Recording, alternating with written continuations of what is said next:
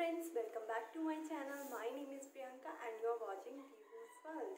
अगर आप मुझे पहली बार देख रहे हैं तो मैं बता दूँ आपको मेरा नाम है प्रियंका और मैं यहाँ पे makeup fashion beauty blog review और से रिलेटेड बहुत सारे वीडियोस लेकर आती हूँ आप इसी तरीके के वीडियोस देखना चाहते हैं और आपने अभी तक मेरे चैनल को सब्सक्राइब नहीं किया है तो रेड कलर के सब्सक्राइब बटन को क्लिक करके मेरे चैनल को सब्सक्राइब करें और अगर आपको वीडियो थोड़ा सा भी पसंद आता है तो प्लीज़ वीडियो को लाइक ज़रूर करें और अपने प्यारे प्यारे कॉमेंट्स करके मुझे बताएँ कि आपको वीडियो कैसा लगा का जो वीडियो है, वो एक छोटा सा क्विक रिव्यू वीडियो है।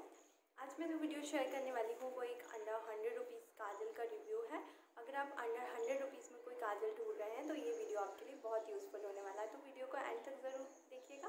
बिना देरी किए हुए वीडियो को स्टार्ट करते हैं। तो मैं जिस काजल की बात कर रही हूँ, वो काजल है ये। ये एलडीन का काजल है। ये एलिडीन का काजल है और मैं बता दूँ, ये काजल मैं काफ़ी टाइम से यूज़ कर रही हूँ। ये बहुत ही अच्छा काजल है। अगर आप अंडर हंड्रेड रुपीज़ में कोई काजल ढूंढ रहे हैं तो ये बेस्ट काजल है। मैं इसको इसको ये कहूँगी कि इसको लगाने के बाद ये बहुत ही अच्छा लुक देता है। ये बिल्कुल बॉड ब्लैक काजल है। और ये स्मच प्रूफ भी है। ये काफ़ी लॉन्ग लास्टिंग है। आपकी आइज़ पे ये और आपके आइज़ पे ये लगभग फोर आवर काजल कमेंट करता है कि ये वोल्ड ब्लैक है। तो ये सच में इसके बाद ये काजल कहता है कि ये last all day smudge proof water proof है। तो ये लास्ट ऑल डे तो नहीं, लेकिन ये फोर टू फाइव आवर्स आपके आइज़ में रहता है और ये स्मच प्रूफ वाटर प्रूफ दोनों है।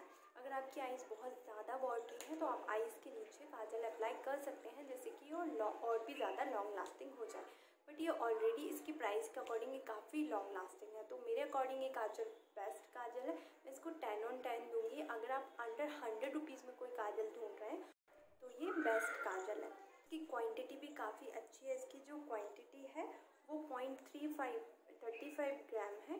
तो ये भी आपके लिए काफ़ी काफ़ी दिन तक चल जाता है। अगर पैकेजिंग की बात करें तो ये कुछ इस तरीके की पैकेजिंग में आता है, जैसे लैक में, और आधे काजल काजल होते हैं, उन्हीं की तरह ये होता है।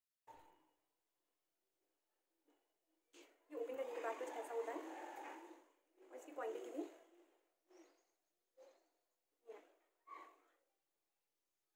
बहुत क्वांटिटी है ये बहुत दिन तक चल जाता है और ये बहुत बहुत ब्लैक है तो आइस पे बहुत अच्छा लगता है मैं इसको ऑफ़िस लगा के जाती हूँ, सुबह से शाम तक आराम से मेरे इस पर रहता है। मैं अभी भी यही वाला काजल अप्लाई की हूँ। काफ़ी अच्छा काजल अगर आप हंड्रेड रुपीज़ के बजट में काजल ढूंढ रहे हैं तो आप इस काजल को बाई कर सकते हैं। अगर आज का वीडियो आपको अच्छा लगा हो तो प्लीज़ वीडियो को लाइक ज़रूर करिएगा और कमेंट करके मुझे बताइएगा कि वीडियो आपको कैसा लगा। आज के लिए बस इतना ही, मिलता है नेक्स्ट वीडियो में। Bye bye